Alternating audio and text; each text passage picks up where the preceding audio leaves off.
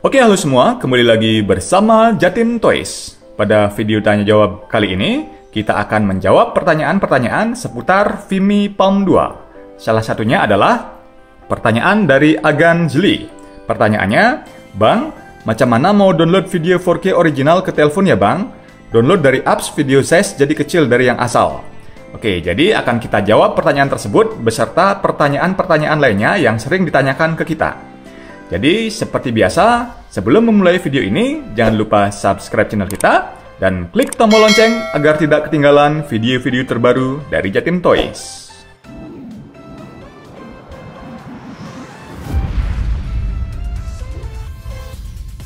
Untuk pertanyaan yang pertama, bagaimanakah cara mengedit video 4K langsung di HP?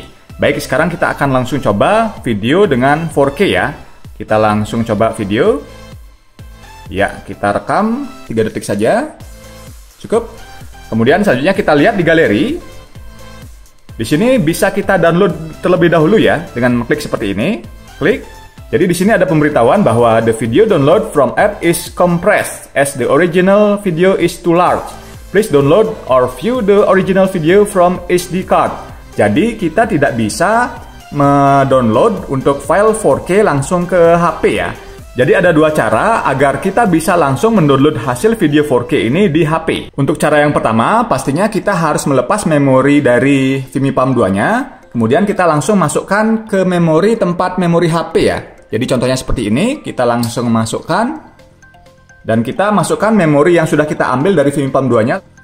Untuk cara yang kedua adalah kita menggunakan OTG micro USB seperti ini. Kita bisa langsung pasang memorinya di sini, kemudian kita masukkan ke HP langsung ya OTG-nya seperti ini. Akan tapi dengan menggunakan OTG ini tidak semua HP bisa. Jadi HP yang sudah mendukung OTG ini harus di-root terlebih dahulu. Untuk pertanyaan kedua yang sering ditanyakan adalah, Bang, kenapa memorinya error? Baik, jadi untuk memori yang baru biasanya kita butuh format terlebih dahulu ya. Jadi di sini biasanya warnanya merah memori error. Jadi caranya kita klik di pojok kiri bawah ini, Kemudian kita tinggal klik yang ini. Kemudian kita tinggal klik format. Setelah itu oke. Okay. Kemudian setelah sukses di format, baru memori bisa digunakan dengan normal. Selanjutnya pertanyaan ketiga yang sering ditanyakan adalah mengapa WiFi-nya tidak bisa connect. Baik, jadi kita atur terlebih dahulu, kita slide ke bawah, kemudian kita slide ke kanan. Di sini di bagian WiFi ini, kemudian kita pilih 2,4 ya. Apabila masih 5,8 ini tidak akan muncul ya. Jadi kita pilih WiFi 2,4 GHz setelah itu baru WiFi-nya akan muncul ya. Jadi seperti ini muncul. Kemudian baru kita koneksikan. Kemudian setelah WiFi-nya terkoneksi, kita masuk ke aplikasinya yaitu di Vimi Play ya. Kita klik Vimi Play. Selanjutnya kita pilih yang Vimi Palm 2. Jangan kita pilih Vimi Palm 1 ini.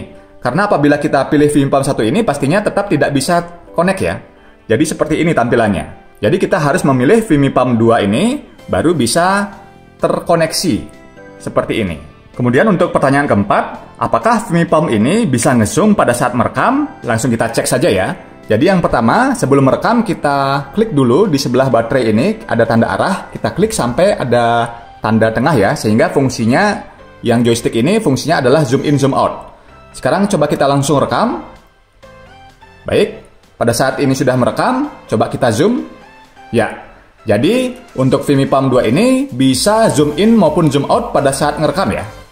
Untuk pertanyaan kelima yang sering juga ditanyakan ke kita adalah bagaimana cara memilih resolusi video pada saat kita menggunakan aplikasinya di HP. Baik, kita coba ya. Di aplikasinya ini di sebelah kiri ada 4K 30 ini, kita klik saja. Nah, di sini ada pemilihan resolusi ya. Jadi apabila kita pilih langsung di sini, tidak akan bisa ya. Jadi tidak akan bisa terpilih. Jadi kita langsung memilih di frame rate-nya. Jadi misalkan kita mau menggunakan Full HD 30 fps, kita langsung saja pilih di sini. Jadi otomatis dia langsung ke Full HD. Selanjutnya untuk pertanyaan keenam, apakah suara beep saat start video itu bisa dimatikan karena merasa terganggu ya ataupun kurang bagus. Jadi contohnya ini ya. Jadi pada saat setiap merekam pasti ada bunyi beep. Ya, jadi seperti itu. Apakah beep itu bisa dimatikan? Untuk cara mematikannya, kita klik pojok kiri bawah, kemudian kita slide ke kanan, di sini ada bip ya. Apabila logo bip ini sudah ada garisnya, pastinya pada saat kita start video, suara bip itu sudah tidak akan muncul lagi. Selanjutnya pertanyaan ketujuh yang biasanya ditanyakan oleh para motovlog ya. Jadi apakah Vimipam 2 ini bisa menyala langsung apabila kita langsung nyalakan ataupun pada saat kita start itu langsung bisa otomatis menyala. Baik, jadi Vimipam ini bisa seperti itu ya caranya. Kita klik pojok kiri bawah ini, kemudian kita slide ke kanan. Di sini ada boot video. Jadi boot video itu untuk defaultnya ataupun awalnya pasti akan tercoret. Tapi apabila kita ingin pada saat menyalakan Vimipam 2 ini otomatis langsung merekod, jadi kita klik ini sampai tanda garisnya itu hilang. Jadi kita contohkan ya sekarang ya. Kita matikan. Baik, sekarang coba kita nyalakan.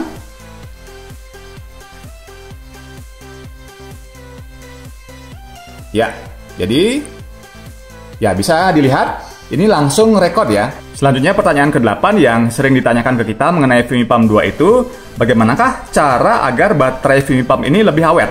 Jadi yang pertama, brightness dari LCD kita kecilkan ya. Jadi kita slide ke bawah, kemudian kita slide ke kanan, di sini ada brightness, kita set paling terkecil.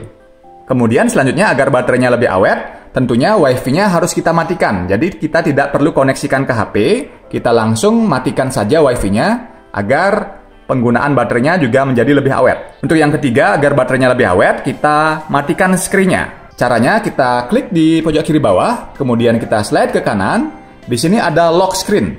Lock screen kita pilih yang satu menit ya. Jadi pada saat kita rekam video satu menit, kita contohkan sekarang ya. Saya contohkan video rekam satu menit. Ini nanti sebentar lagi akan mati. Ya, jadi LCD-nya ini sudah mati ya. Tapi ini masih tetap merekod ya. Selanjutnya pertanyaan ke-9 yang sering ditanyakan ke kita adalah apakah Vimipam 2 ini bisa syuting secara mode portrait agar bisa kita gunakan untuk tiktokan. Jadi langsung kita coba. Di mana sekarang untuk modenya landscape ya. Sekarang kita akan coba mode portrait, jadi tinggal arahkan seperti ini. Ya, jadi otomatis dia akan menjadi mode portrait. Jadi untuk Vimipam 2 ini bisa kita jadikan untuk main TikTok ya. Dan tentunya hasilnya pasti juga stabil. Untuk pertanyaan terakhir yang paling sering ditanyakan ke kita mengenai Vimipam 2 ini adalah bagaimana mengetahui baterainya full pada saat dicas. Jadi kita langsung coba cas ya. Ya. Pada saat mengecas pastinya ada LED hijau ini akan berkedip pelan ya. Jadi seperti ini. Jadi tandanya full adalah lampu hijau sudah tidak menyala lagi. Artinya lampu sudah mati, benar-benar mati dan tidak menyala. Itu tandanya sudah full ya. Jadi demikian video tanya jawab kita kali ini mengenai pertanyaan-pertanyaan seputar Vimi Pam 2. Jadi untuk agan-agan yang memiliki pertanyaan, silahkan tulis di kolom komentar YouTube ya. Jadi apabila kita sempat buatkan video, akan kita buatkan video beserta contoh dan caranya. Jadi nantikan juga video-video kita selanjutnya. Demikian, terima kasih.